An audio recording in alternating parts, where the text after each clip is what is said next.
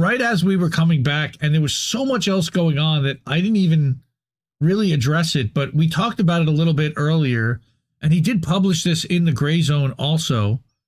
Um, was that Kit had published something in Grayzone about being censored on Twitter. So, following years of pressure from Israel lobbyists and British spooks, I was finally banned by Twitter X. What does my removal say about Elon Musk, who flaunts his opposition to censorship while promising to build an everything app where you can lose access to banking and messaging for violating dubious speech codes? Not just banking and messaging, yeah. but also potentially income for those who are blue checks. We're not. Uh, we're not generating any income. We're not monetized on Twitter. We don't have a big enough account anywhere. it says that on February 17th, he was suspended from Twitter without warning. The cause was mass reporting by Zionist activists that he defended. His removal was justified on the basis that he violated Twitter's rules against quote unquote viol- violent speech. Having endlessly committed mm-hmm. violence on the platform, in particular the Gaza genocide, I'm flummoxed.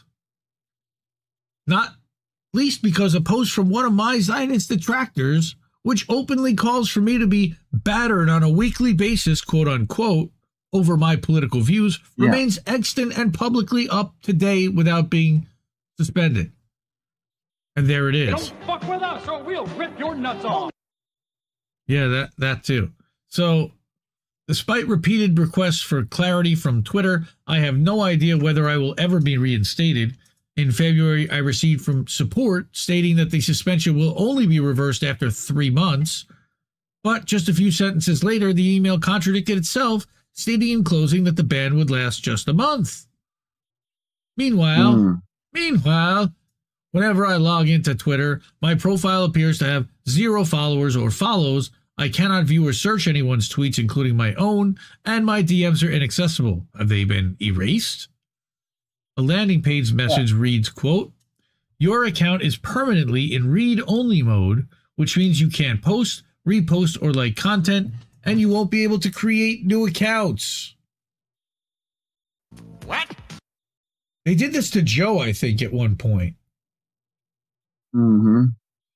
In January 2024, Twitter purged a number of prominent, predominantly left wing users without warning or explanation. Their suspensions were lifted only after a deluge of complaints poured in to the personal account of Elon Musk, the libertarian tech maven and self proclaimed free speech warrior, who won't even have to take a position on Julian Assange, who purchased Twitter with his personal fortune. Uh, if I remember correctly, that the, the people purged were Alan MacLeod and Ken Klippenstein, among others. Those were the two most prominent at that point. Yeah. Kit is grateful that scores of Twitter users have done the same following his own suspension. However, Musk has kept mum about his case. I wonder why. While I may have not, while I may not have as many followers as those abruptly de- defenestrated in January, Kit's work has mostly been most widely been shared on Twitter, with some posts gaining millions of impressions.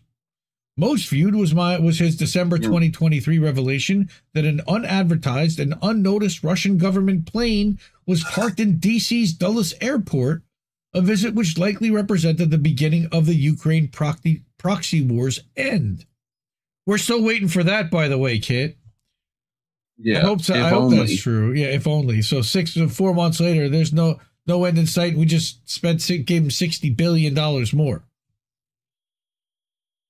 Kit says this is quite a remarkable turnaround, given the concerted effort to suppress his Twitter output for as long as he's used the platform.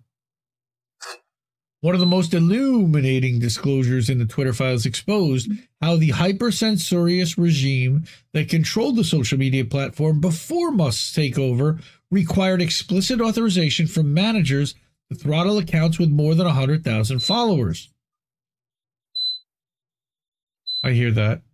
Until then, engineers right. had free reign to covertly censor, suppress, and shadow ban anyone they wished, however they wished, without any oversight whatsoever. That seems like it might be yeah. problematic. This, se- This secret protocol offered a compelling explanation for curious developments regarding my own Twitter account in the summer of 2022. For 18 months following my 2021 registration for Twitter, my follower count remained stubbornly low. Hmm. This was until the Grayzone unmasked celebrity journalist, quote unquote, Paul Mason, as a British intelligence asset who directly coordinated attacks on anti war figures and movements with a friend in the Foreign Office. It was the lead investigator on this series of reports. The exposes, of course, we know now, generated significant attention the world over. His followers duly yeah. began multiplying by hundreds daily. Curiously, however, when he was whenever he was a few dozen shy of 10,000, the total would crash back down. We've seen this too, the purges. Evidently, Twitter staffers and powerful forces breathing down their necks were absolutely determined no one saw what I had to say. Gosh, that sounds like it might be happening to another account we we we may know. Yep. Um besides the exposés of Mason that uh, that he worked on, there was his tw- October 2019 report revealing revealing that Gordon MacMillan a senior Twitter executive, as a member of the 77th Brigade, uh, which was mentioned earlier, the British Army's shadowy psychological warfare unit, which specializes in the weaponization of social media. Nothing to see here, folks. And MacMillan and his fellow national security cadre exacted revenge on me when I was finally banned from Twitter or from Twitter X and what does my permanent removal say about Twitter's new boss, Elon Elmo, who advertises Twitter as a platform that champions free speech while promising to build the Everything app where you could, like we said, presumably lose your access to your bank messaging history for violating dubious speech codes? So, Gordon MacMillan was one of many high ranking staffers rightly fired from the company upon Musk's acquisition. From Kit's perspective, while the owner's politics could be further removed from his own, he's largely defended and embraced the changes that's been implemented, as has Reef, and in some ways have at least played a wait and see game, but while remembering that this guy A is a massive intelligence contractor, okay, as well as that he refuses to take a position on Julian Assange, which is a glaring red flag if you're really about free speech. Yeah. yeah. David Sirota. What? Uh yeah. I also, by the way, and I'll show you that, I recently challenged Judd Legum on that, who gave a bullshit, weaselly, conniving answer saying that there's a hundred things that he could talk about. He just doesn't see anything to talk about on that topic. What? Hmm. Anyway. Congratulations on being the world's biggest bitch. Well, during an October 26, 2023 all hands meeting at Twitter headquarters, that is the one year anniversary from when he bought the company, Musk opened his remarks by announcing that he was transforming the company from what it was, Twitter 1.0, to the Everything app, which is like WeChat. He vowed to establish he vowed to establish, quote, a single application that encompasses everything. We know what happens when you try to do everything. You can do payments, messages, video, calling, whatever you'd like from one single convenient place. We just don't have that. It doesn't exist outside of China. Like I said, WeChat. Mm. Right? Um yep. I might have I might not have been using Twitter for everything but it was an extremely useful tool in my personal and professional life. My banning offered me a stark illustration of the dangers of relying so heavily on a privately owned social media app, especially one that provides features that are almost essential in a digital world, meaning it should be made a utility. Many yes. are many are anxious. Many are anxious about the rise of digital payments and currencies, for this would inevitably grant financial institutions, and governments monopoly power over how citizens can spend their cash, and even more gravely, whether they can whether they can. Fall foul of such powerful forces, even accidentally, and you might find yourself frozen out of your life savings, perhaps forever. If Twitter is to truly become an everything ever? app, forever, forever, ever, ever, ever. That probably got cut out. Um, what did? forever, ever. You're you're forever. My Chris Rock Sure, impression, yes. that one's better. The, the implications of a ban would be greatly multiplied, with suspensions effectively locking a user out of every sphere of their public and private life. We thankfully haven't reached that point yet, but the consequences of Twitter's arbitrary suspension process are very real. There are now scores of people, comrades, collaborators, critics, and journalistic sources from whom I'm now cut off perhaps forever. That's because these assholes won't get on Substack Notes. Because, by the way, you can find him on Substack Notes. You can also find him over on mean rely on Telegram. a privately funded platform again? Probably not the best idea. Telegram. There's Mm. other ones too. Like Yeah. we said, diversification, platform whack a mole, like we've been advocating for from minute one. Meanwhile, the contents of our conversation seem to have been rendered permanently inaccessible, except perhaps by Elmo Musk himself. Yes, I can't find my DM thread with Kit Klarenberg from before he got suspended. The vaguely explained arbitrary suspension means that he's not only being deprived the ability to express his opinions in a public forum, hold the powerful to account, expose hypocrisy, criminality, and even genocide, and directly engage with his supporters and detractors. It also means that he's lost a platform through which to conduct sensitive conversations with sources around the globe. Yeah. Right? This is like so infuriating. Was it is this the start of something worse? Well, this is like foreshadowing what Facebook is now doing to his article. Remember, this was written a while back Uh, in March. Yeah. In a June 2019 op-ed, United Nations Special Rapporteur on Torture Nils Melzer once wrote that once Nick, once WikiLeaks founder Julian Assange had been dehumanized through isolation, ridicule, and shame, just like the witches we used to burn at the stake, it was easy to deprive him of his most fundamental rights without provoking public outrage worldwide. Unquote. I highly encourage everybody to read Nils Melzer's book about the torture of Julian Assange. A key component of the Yep. WikiLeaks founder's isolation, unquote unquote, was the Ecuadorian embassy cutting off his internet access in March of 2018. As I previously revealed, that act was just one aspect of a wide ranging black propaganda campaign executed by a British intelligence cutout called the Integrity Initiative by Mm. falsely framing Assange as a Russian. call it that. By false, yeah, of course they do, right? Because they always name it the most dystopian, horrifying shit that's the complete opposite of what it is. So what it is. Yeah. Yep. By falsely framing Julian as a Russian agent, London successfully pressured Quito into banning his personal visits as well as any and all communication with the outside world. Immediately thereafter, British police launched Operation Pelican, a scheme designed to extract him from the embassy and ultimately transfer him into U.S. custody. They were all in cahoots on this together. Operation Pelican succeeded one year later when they when Ecuador exchanged Julian for an IMF loan, a four billion dollar IMF loan, if I remember correctly. Yeah. And Assange has festered in Belmarsh prison, Britain's Gitmo, ever since. Free Julian Assange. God Almighty, free Julian Assange. As he awaits extradition to Washington, where he could face 175 years in a supermax prison, and special administrative measures, by the way, and future charges Yeah. potentially that could carry the death penalty, rendering that 175 years null and void.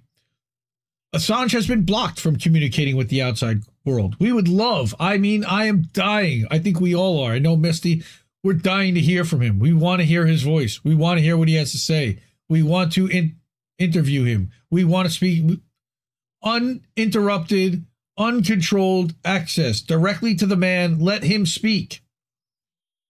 They're not letting him do that. Press photographers were even prohibited from capturing his wedding day inside the jail on the grounds of national security. We've covered that at length. Is Kit's Twitter or suspension part of a similar effort to isolate him? So when the British state deprives him of his most fundamental rights, it won't provoke public outrage? Yes. Yes, yes, it will, Kit. Alternatively, and you're not Julian Assange, and I don't think that he's trying to equate himself to Julian Assange, but he's trying to equate what they're doing to him the way to isolate to the same way that they did to Julian. Alternatively, recall the Twitter role, the, the role that Twitter played in the case of independent journalist Steve Sweeney, who was arbitrarily detained in Mexico while on his way to cover Nicaragua's November 2021 election, which the U.S. State Department had condemned. Acosta and Fiorella, I believe, also were in Nicaragua for that um, and covered that Yep. election for the Convo Couch. Steve Sweeney recently was interviewed and was on the Politics of Survival with Tara Reade on INN. So you can check that out too.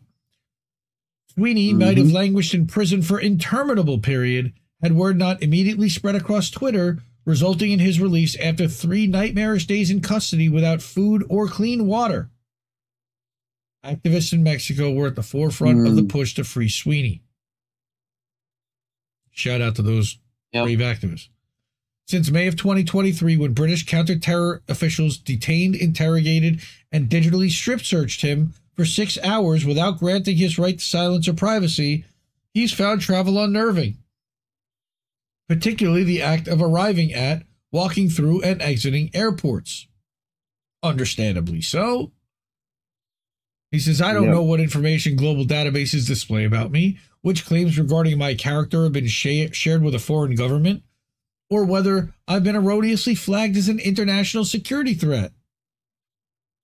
Influential security state tied figures like Paul Mason have openly clamored for me to be jailed as punishment for my journalistic activities. Heidi Bachram, the British pro Israel activist who led the campaign to mass report me on Twitter over my solidarity with Palestine, has expressed hope that I will never again be allowed to visit my homeland. Her supporters have echoed this hmm. sentiment. Gross. Here are clear indicators that indications that a number of shadowy intelligence linked elements are monitoring my activity online. Or there are. In November of 2023, an Irish defense consultant who claims to have advised government, military, and civil society actors in Ukraine and other European countries regarding defense policy bizarrely alleged that Klarenberg showed his FSB signature training as early as 2014. Hmm, okay. Hmm? He says, I have no idea what they were alluding to, and certainly have never received any training by Russian intelligence, but it's not unreasonable to think I'd be in the military intelligence the military alliance's crosshairs. That same month, the NATO Stratcom Center of Excellence described me as one of the agents and sympathizers of a hostile regime in a report which effusively advocated for the cyberbullying, harassment, stalking, and doxing of anti-imperialists. Hmm. Yeah. So, apparently, not content with simply targeting him personally, these same forces have relentlessly relentlessly attacked the, Grayzone as well. Kit is the editor in chief of the Grayzone UK. In August of 2022, longtime British intelligence operative Ross Burley publicly smeared the Grayzone as a Russian propaganda outlet and asserted that it was Russian scum! incredibly irresponsible for YouTube and other social media companies to platform our journalists. The cause of his ire may have been our 2021 report on leaked files that exposed details on Britain's wide ranging clandestine intelligence operations targeting Russia. In Yeah. response, Twitter took the unprecedented step of, of applying a warning label to each and every tweet linked to this report, cautioning users that it contained materials obtained through hacking. The policy backfired, however. Right? Policy backfired, however, after countless users mocked the label and turned it into a meme.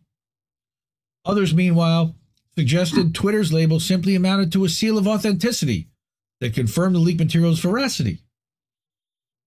As, as to the question of why the social network chose to slip to slap this label on the Grayzone exclusively and overlook Western funded OSINT collectives such as Bellingcat, which routinely publish stolen material, recent developments may provide some clue.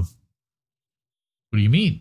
In February, yeah. Politico revealed that Britain's Defense and Security Media Advisory Committee had been unsuccessfully attempting to woo major social media platforms to join its board.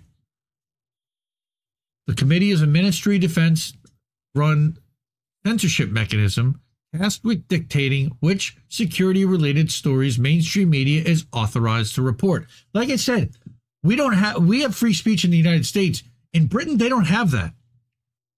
When the committee asks British journalists Allegedly we have that. Right. When the committee asks British journalists and editors to withhold information from the public, they almost always comply. Politico quoted Geoffrey Dodds, a DSMA secretary and former military official, as saying Google and Meta were among the social media giants on the committee's wish list. No surprise, he proposed that tech firms monitor their platforms for content relating to Britain's national security, quote unquote, then seek the committee's advice on whether to censor. Yet, his effort has been so far unsuccessful as the companies reportedly, quote, felt that they couldn't sit on the board because it was too linked to the government, unquote. Give me a mother. Mm. Too linked? All these guys are are linked to the government. Yeah. They're crawling with agents. They're doing the government's bidding constantly. Still, Dodds remained optimistic that the British government could come up with a grand bargain with the tech giants. Then hopefully we'll be able to get the tech giants back on board. Fuck you. Politico said the committee was yeah. steadfast in its determination to get social media firms abroad or aboard and abroad. Dodds remarked that moving forward, quote, there's probably going to be less print, just as much broadcasting, and a continued increase in social media and online news. So we need to get into this game. So what did Facebook do, by the way, in Canada? They shut down news entirely. That's the next step mm. is these social media platforms are now just shutting down news so they don't have to deal with being accused of misinformation. Oh, of course. Which honestly could be another reason why Facebook pulled Kit's article. It could be deemed as news which they don't want published anywhere. Publicly available uh-huh. minutes of the DSMA's uh, committee's June 2023 meeting show that the body's deputy secretary, retired Navy Captain John Perkins, disclosed that between October 2022 and April 2023, material of quote extreme sensitivity in national security terms had been protected from inadvertent disclosure thanks to the committee's interventions with the journalists. How much you want to bet that had to do with yep. Ukraine? This material oh, was of the most probably. sensitive nature he'd seen. Maybe something about Nord Stream, possibly. Wait, no, yep. it didn't. It didn't blow up until September of 2023. It could have been the planning of Nord hmm. Stream mm. potentially, because we know that in February, sure, Biden had already said, "Well, we well, we know we're going to do it. We're not going to allow it to be built, right? They knew then that they were going to blow it up. Yep. Mm-hmm. While the nature of that material was unstated, Perkins may well have been referring to a series of, inve- of investigations that the Grayzone published throughout that precise period, detailing London's secret and pivotal role in escalating the Ukraine proxy war. Hmm. Given this outlet's reputation as a leading source of insight on the cloak and dagger and machinations of the U.S. and British led Western national security state, The DSMA committee would welcome its suppression on Twitter X and other platforms at least as much as it did in my indefinite suspension. Again, remember, they're coming after Rumble too. After years yeah. of pressure from Western security state operatives, Kit was finally banished from Twitter X under the watch of billionaire owner who has flaunted his ideological opposition to censorship. On his coming everything app, it seems everything you can and say will be used against you, especially if you support if you if you go against Zionists. Um and you call them out and expose them for their crap. Please support the Grayzone. Yeah. Please support Kit Klarenberg. Please support Jesse Jett with that QR code down there. And please support INN if you can. These people have, and we love them for it. People like Charlie Mack and Anna Mayers, who are actually like in chat right now. Love you to love you to pieces. Thank you so much for all your support. Hemp Car. Hemp Car yeah. gave us Cam Carr gave us four dollars on Friday night during Angel's 50th stream. Thank you so much. We did see you over there for that too. Oh, that's nice. Really appre- appreciate Money, that. Please. Right? Um Yes, Anna, appropriate belling crap. If you have well, we've had plenty of longies, but if you have not already and you are of a means and able to and are getting value here, we do this on a volunteer basis and on a user funded basis. So whatever you can do to help us, there are some ways to support monthly subscriptions on Patreon, Substack, one time donations on Rumble, Cash App, and then we're going to put up a QR code, which already is up or was up. Uh, and here. There we go. That's for Jesse's computer fund. Charlie Mack hooked us up on Friday night on the Jesse stream, and uh, and we're at forty seven percent right now. We're almost halfway to our thousand dollar goal to help Jesse there. Uh, we'll get to Jesse coming to New York City. I know we talked about that last week. So